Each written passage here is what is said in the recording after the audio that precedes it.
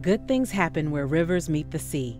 Ocean water and river water mix, making bountiful habitat for fish, crabs, and shrimp. Other wildlife come to eat the fish, and wetlands form, supporting more life, protecting the land, helping keep the water clean, and drawing communities of people for centuries. Cities form, agriculture starts, and a metropolis is born because the estuary was here. Estuaries are a special place where people, land, and water are tightly linked. Stretching nearly 100 miles from the Golden Gate to Sacramento, channeling California's main water supply system, harboring endangered species found nowhere else, and lying at the center of nearly 8 million people living around it, San Francisco Bay, Suisun Bay, and the Sacramento San Joaquin Delta together form the largest estuary on the west coast of the Americas. With so many of us living here and so many of us relying on its water, how is the health of the estuary? What direction is it heading with climate change? How much does our health depend on the estuary's health?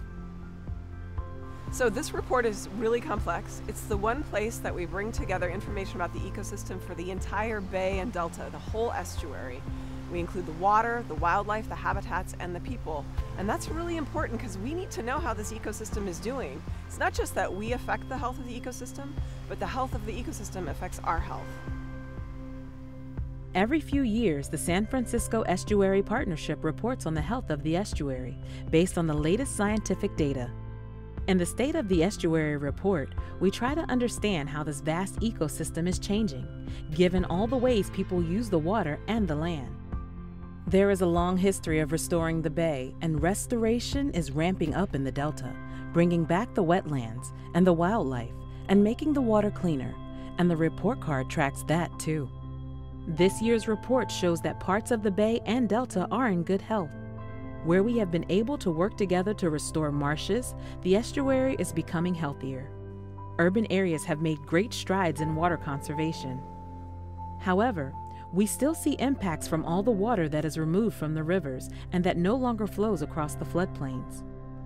The declines in fish populations that have been seen in the delta for many years are now being seen in the bay as well.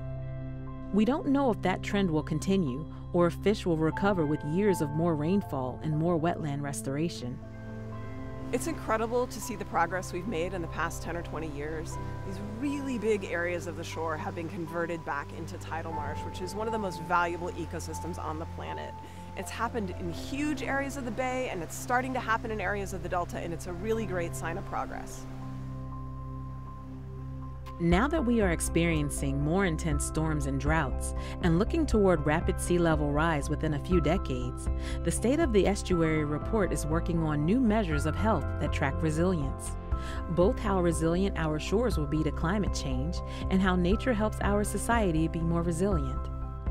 Nature based infrastructure, like shorelines that include marshes and beaches, instead of just levees and bulkheads, often perform well in natural disasters, cost less to maintain, and provide more benefits to people. Research shows that being in natural areas and green spaces helps people have healthier bodies and healthier minds. Uh, so, my dream is really simple, and it's that this beautiful place that we all live around and that organizes our lives in a lot of ways, that we all can stay here and thrive, not just people, but also wildlife. Despite all the changes that are coming, climate change and just how many demands we put on the estuary. And I think that means we all have to pay attention. We all have to know and care how healthy this place is. So my dream is that we all, you know, look at the report and get involved and see what you can do to make things better.